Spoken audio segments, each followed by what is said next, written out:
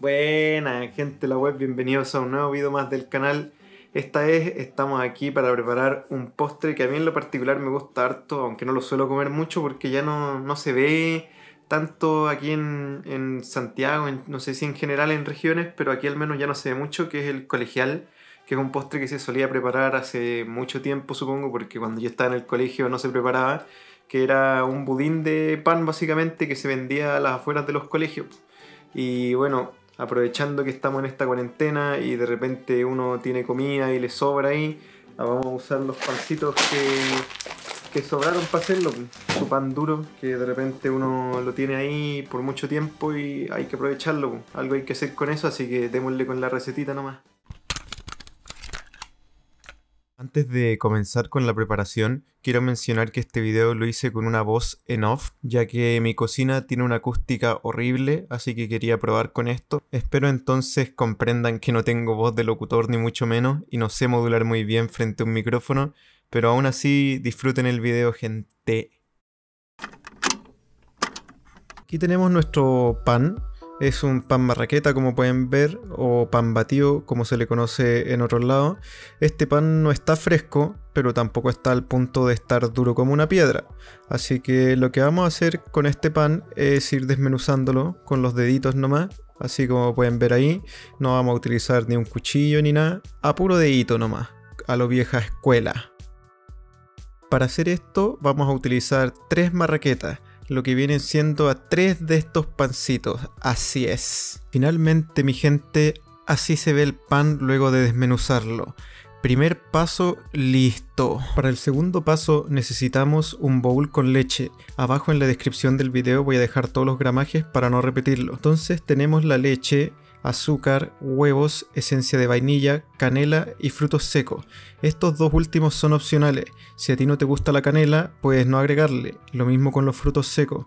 Y si quieres, le puedes echar pasas, pero a mí no me gustan la verdad. Lo que tenemos que hacer ahora es mezclar todos nuestros ingredientes.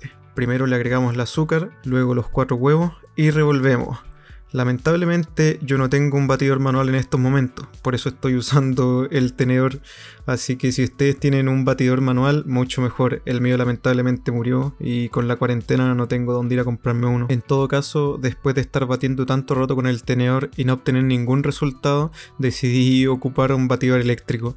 Así que si tienen uno, mejor utilícenlo para facilitar esto. Una vez mezclada el azúcar, huevos y leche, le agregamos una cucharadita de esencia de vainilla.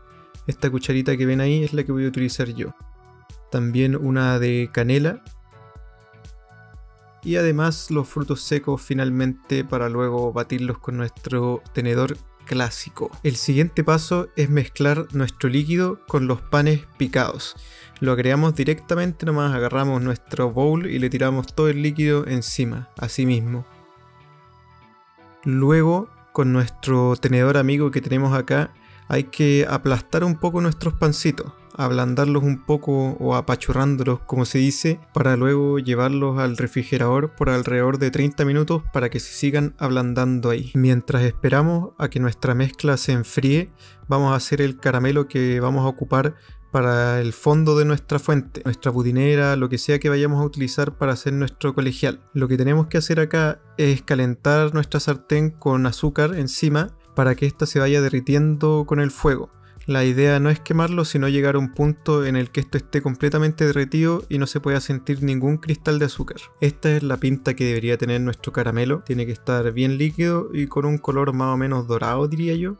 no sabría decir qué color tiene, es como negro, pero no está quemado, lo juro. Colocamos el caramelo de esta manera en el recipiente que vayamos a ocupar, tratando de que abarque el mayor espacio posible. Una vez hayamos hecho eso, vamos a colocar nuestra budinera en otra bandeja y le vamos a poner agua a esta para hacer un baño maría en el horno. Después de haber agregado agua a nuestra bandeja, colocamos nuestra mezcla de colegial en la budinera que teníamos con caramelo en el fondo, tratando siempre de llenar todos los espacios que hayan, sin dejar nada vacío. Me da mucha risa escuchar en mi voz de esta manera, se siente demasiado raro. Una vez tengamos esto montado y listo, lo vamos a llevar al horno durante 50 minutos a una temperatura de 150 grados. Recuerden que no todos los hornos funcionan de la misma manera, por ende yo recomiendo siempre estar pendiente de nuestra preparación, independiente que yo les diga que tiene que estar 50 minutos, eso varía dependiendo de tu horno. Finalmente, esto era lo que queríamos conseguir,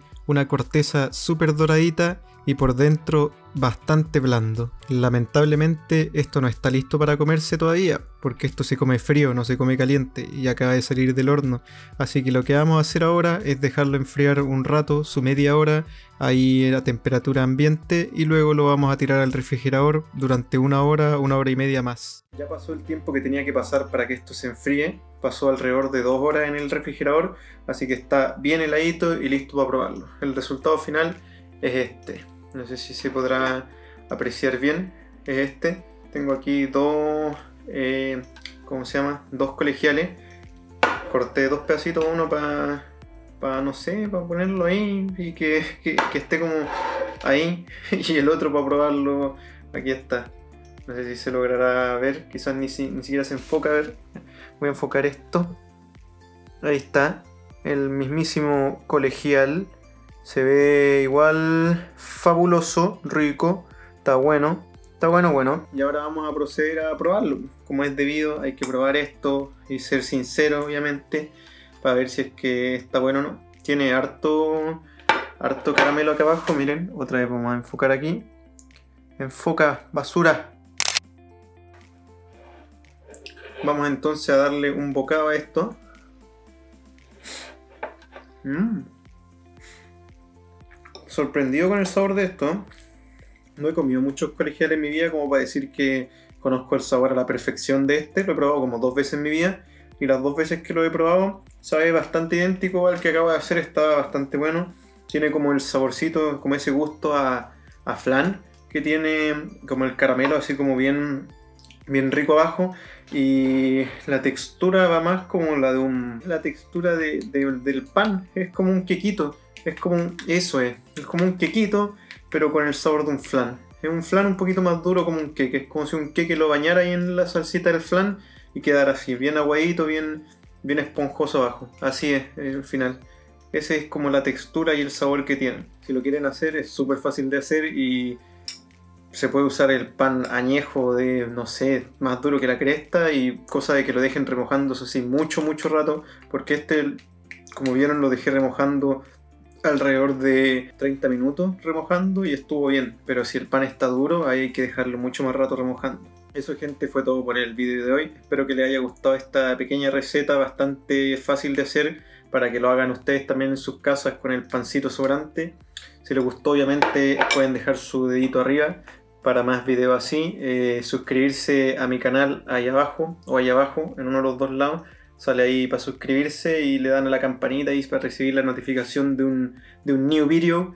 Y mi red social, Instagram, va a salir en algún lado. Ya no me voy a dignar a tratar de, de achuntarle porque como la cámara está al revés y después no sé qué, ya no entiendo nada.